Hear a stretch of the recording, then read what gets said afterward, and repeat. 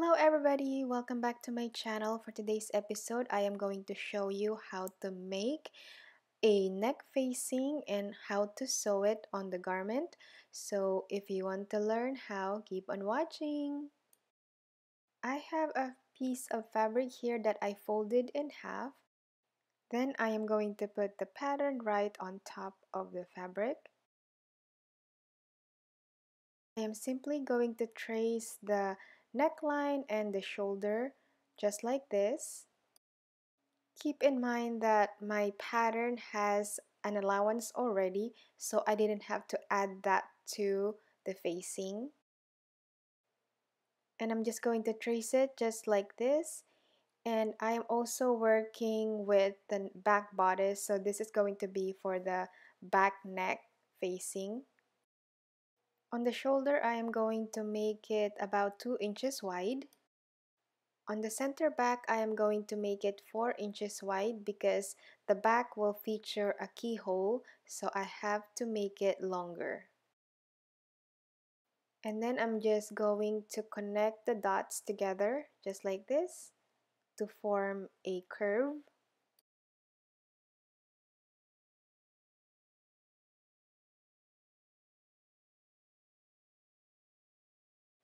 And then I will just cut it out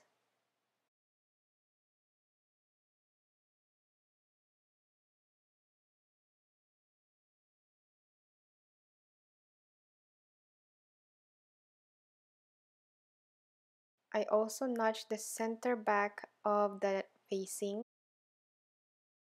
Then I will just repeat the same process on the front neck facing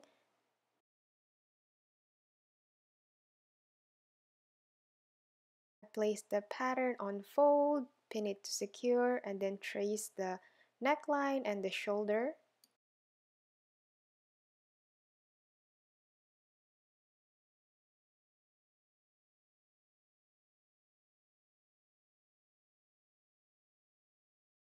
I am going to make the front neck facing 2 inches wide so it will match with the back neck facing.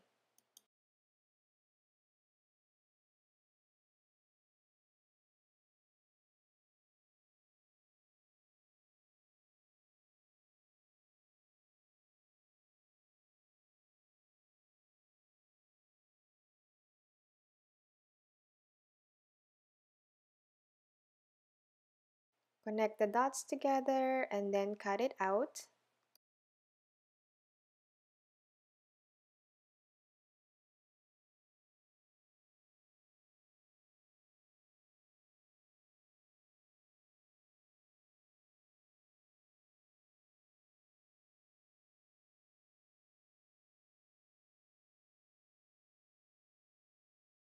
I also notch the center front of the neckline.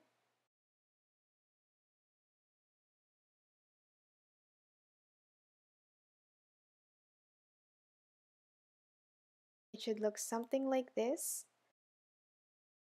Now it's time to sew the pieces together. First, I am going to sew the shoulders of this dress. And then I will do the same thing onto the neck facing. I'm going to match it just like this. Right sides of the fabrics are facing each other.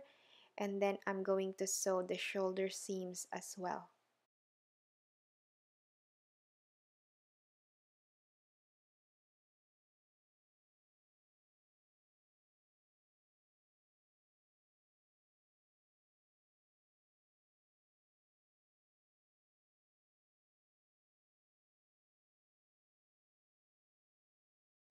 This one is optional. If you want to add a keyhole feature at the back of the dress, you are going to simply cut a slit on the center back of the facing about 3 inches long. You can make it longer, but make sure that if you're going to make it longer, you, the facing should be longer as well. I'm going to do the same thing on the back neck bodice. I am going to simply cut 3 inches right at the center of the neck or back neck. Like I said earlier, you can make the keyhole as long or as deep as you want. You can also use the same process if you want to put the keyhole on the front or even on the sleeves of the garment. That will look really nice as well. So if you want a tutorial on how to put keyhole on the sleeves, be sure to leave a comment down below so I can make that happen for you guys.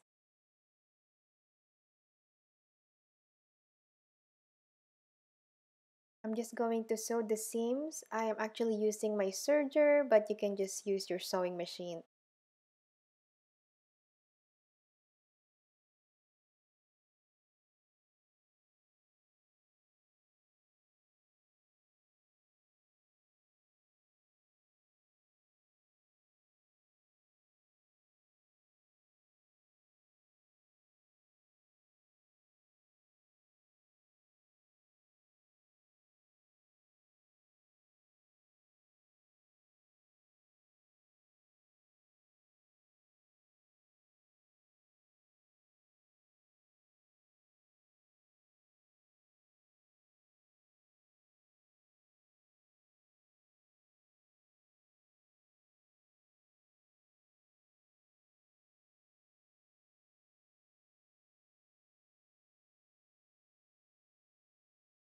After that, I am going to open up the dress just like this and I'm going to match the neck facing onto the neck hole. Pin it all the way around. As you can see, because I made those notches, it's much easier for me to match all the pieces together.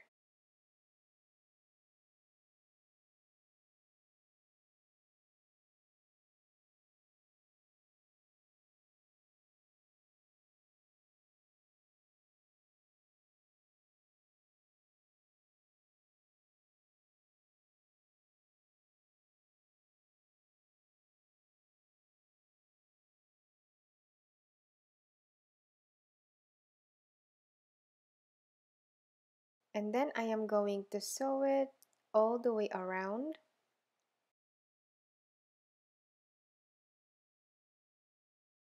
I started to sew at the back seam where the slit is and I'm just going to sew it all the way around. I am going to be doing about a quarter of an inch wide seam allowance.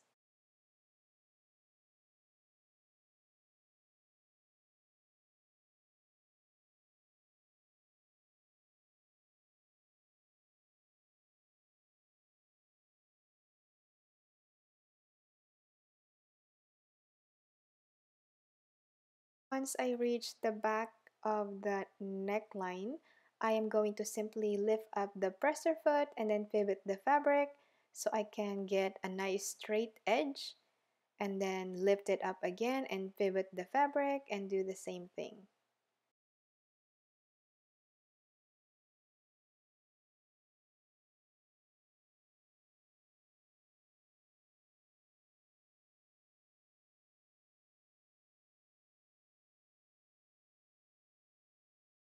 Now I am going to clip the corners so when I turn the dress right side out, the dress will have a nice pointed corners.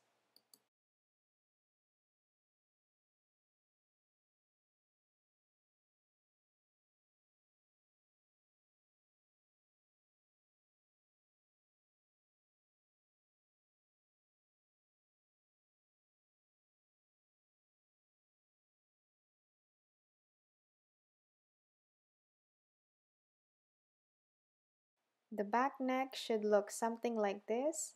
I think it looks so pretty. The only thing that I forgot is add or insert a loop, but I can easily sew a snap button or sew it right outside the fabric. I am going to understitch the facing so it will stay under going to stitch as close to the seam as possible and keep in mind that the raw edges should be pointing towards the facing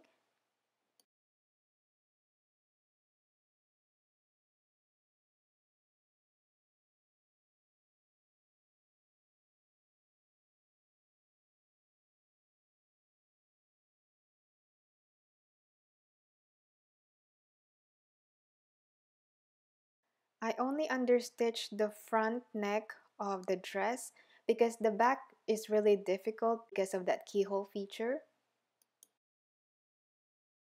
I also stay stitched the neck facing at the back. As you can see, I am sewing about 1 half inch around the keyhole.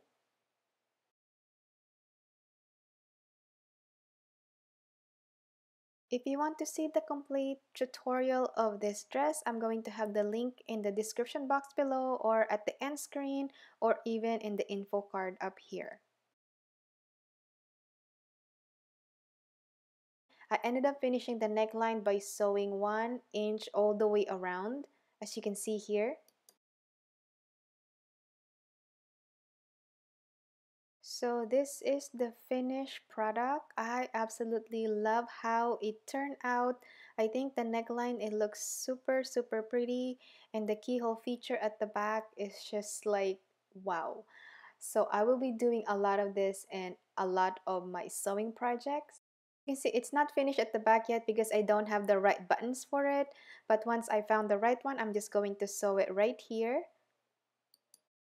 Thank you so much for watching and I will see you in the next episode. Bye!